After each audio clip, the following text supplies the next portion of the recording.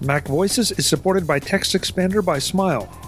Find out just how powerful a few keystrokes can be at textexpander.com. Hi, I'm Chuck Joiner, and this is a MacVoices briefing on two apps to help you prepare for Mac OS Catalina. Folks, we've been talking quite a bit on the show about the transition to macOS Catalina, which means the transition from 32 bit to 64 bit applications and the implications for you and the apps that you depend on. I found two utilities that I'd like to show you this time around, and I do mean show you. For the audio uh, folks, you probably are going to want to go to macvoices.com and watch this so that you can see what these apps look like. But I think it's really important to show you just how easy some of this can be and how these two utilities can help you prepare for the process so that you will know what apps are up to date, what apps will make the transition, and what apps you're going to lose if and when you upgrade to macOS Catalina. The first application is called MacUpdater, and it's from Core Code. This is an app I heard about from Dave Hamilton and John F. Braun on the Mac Geek Gab. Checked it out and realized just how terrific an app this is, really not just for the transition, but also just in general. What it does is it scans your entire hard drive, looks at apps, and gives you key information about those and what updates are available to those. This is especially pertinent for the 64 bit transition. This is my MacBook Pro uh, desktop with Mac Updater already launched. When it launches, it automatically scans your hard drive and finds all the applications, gathers up information about them, then reaches out across the internet and determines whether there are updates available, what kind of updates, and provides some additional information. So, as you can see across the top, and I have it set to all apps, I can click and show outdated apps which means uh, that these are all applications that I need to do updates for to bring them up to current if they're available. I can also hide or show uh, Mac App Store apps. Um, I can hide all unupdatable apps. I can show all apps. Um, it just depends on what exactly you're looking for. And of course, I can search as well. But the the whole idea here, first of all, is that you find all the applications on your hard drive, and honestly, I found some that I didn't even know were still there. Um, you also find that uh, find if there are duplicates. But the most important thing, in my opinion, is the the upgrading. Um, scrolling down here, you can see I can do several different kinds of upgrades. Now, they're manual upgrades, and if you click a manual upgrade, let's just say for eCam, um, it gives you information on what I may or may not be able to do as far as upgrading within MacUpdater. I can launch the app, I can go to the app's homepage, or I can skip, which in this case I will do since there's no reason to, to go through that. Um, here is an update for Feeder, uh, an application I use to create the RSS feeds for MacVoices. I did not know that there was an update available, so I'm going to hit upgrade the app. And this is, says it's a major version upgrade, and so I may or may not be required to buy a new license. So it will let me continue if I want, or I can cancel. I will hit continue, and you can see it is doing, attempting to do the upgrade from within the app itself. And in this case, the update failed. The destination, destination path seems to be in use. So that's an upgrade I will have to do on my own. But if I scroll down a little for, farther and find one, so let's look at MacPar Deluxe. Um, it, this gives me the option to update, and if I hit the update there, what it will do is it will do the update right within MacUpdater. And now it is gone because I'm showing all the outdated apps. But if I go back to all apps and scroll down, I will find MacPar Deluxe. Now it is current. You see it's in green as opposed, as opposed to the red ones, which still need updated.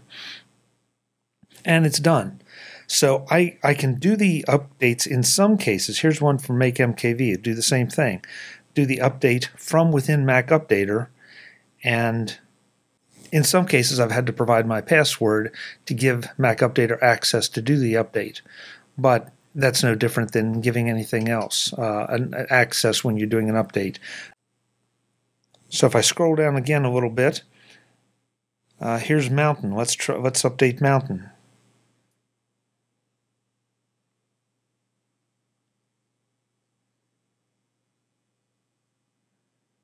And then, of course, it shows that I have successfully updated the app. So this is a great way to go through and not only find out what apps need to be updated and what don't, uh, but also in the case of apps you've forgotten about – um, you may want to mark those for deletion using a trash utility, and that's a whole other show. Um, but it or find out if you have duplicates. In a couple cases, I found that I had applications that were unfortunately living in my downloads folder and had not been properly relocated over to my applications folder. So a lot of different things you can you can get out of this particular app. And that alone is terrific because at the very least you want to make sure you are as close to current when you go to upgrade to Mac OS uh, Catalina when the time comes. Smile and TextExpander are sponsoring this edition of MacVoices. Do you want to do something quick and easy to improve your productivity? Want something that is bulletproof that will improve the quality of your work? Are you looking for a utility that can integrate with just about any program on your Mac to make it better? If so, you're looking for TextExpander from Smile. TextExpander works pretty much everywhere on the Mac, inside just about any program desktop publishing, email, web publishing, browsers, task management applications, chat applications, the list goes on and on. Because all of those require text entry, and TextExpander helps you enter text quickly and accurately. Have a word, phrase, paragraph, or page that you need inserted regularly? TextExpander does it with a few keystrokes. Have a word that you misspell frequently? TextExpander can help you fix that so that it never happens again. Want to standardize wording to customer inquiries across your entire team? TextExpander is the answer. With almost no learning curve and massive payback on the time invested, you should be using TextExpander. Visit TextExpander.com right now, download a free trial, and find out what so many of the productivity experts already know. TextExpander from Smile the makers of world class software. Thanks to Smile for being the longest running sponsor of MacVoices. The other application, when you pair uh, this one with that application, and that's Go64 from St. Clair Software. Now, we had Jon Gotow uh, on the show a little while ago talking about default folder, but we also mentioned Go64 there. And I want to show you what Go64 looks like and what it can do during this process. Back to my MacBook Pro desktop, and I have launched Go64. And so this explains a little bit about what it does, which basically it scans the hard drive, finds the applications, and lets you know whether they are 64 bit or not. So I'm going to show you this. I'm going to let it do its scan, and it has done the, the results of the VIA scan and it takes me through. And if you can see the interface is rather similar because um, I can scan my drive, my internal drive. I can scan external drives.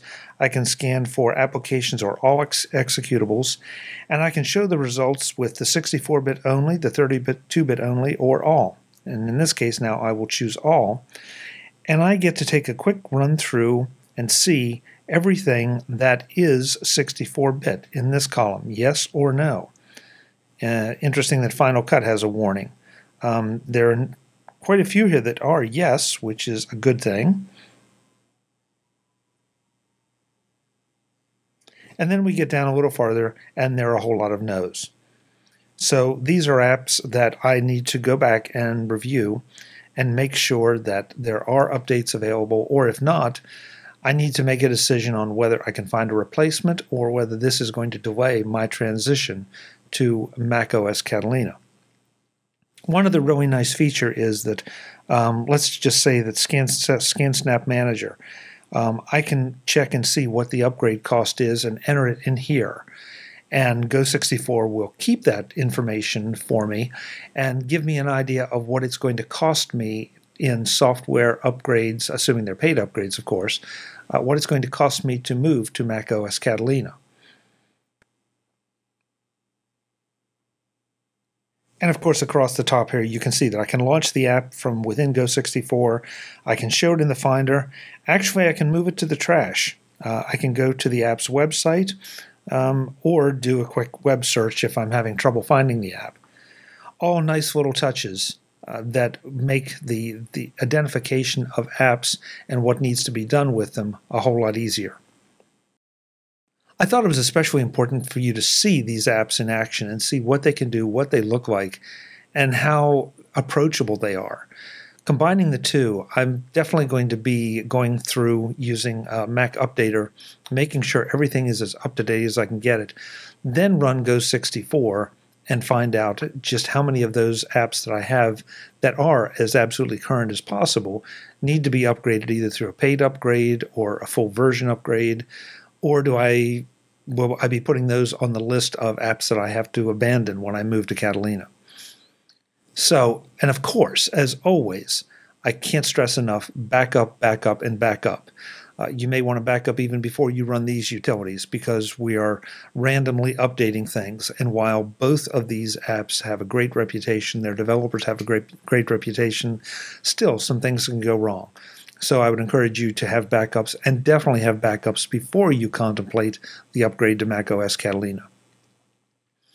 So again, that's Go64 from St. Clair Software and MacUpdater from Core Code. MacUpdater is $9.99 um, after you've deleted uh, or used it 10 times to update 10 applications.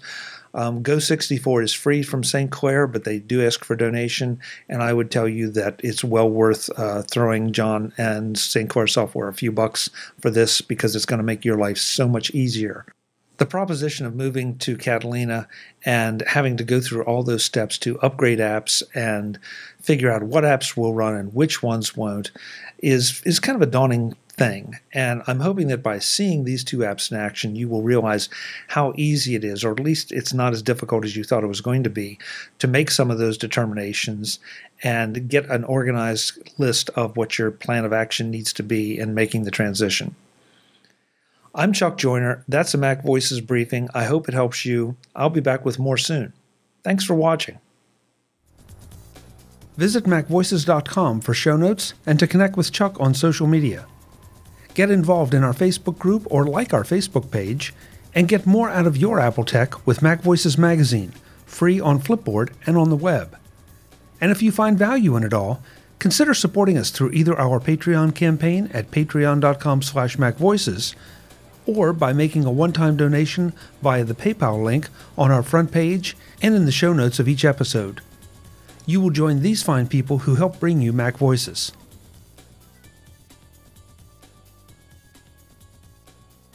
Advertising handled by Backbeat Media at backbeatmedia.com. Bandwidth provided by CacheFly at cachefly.com.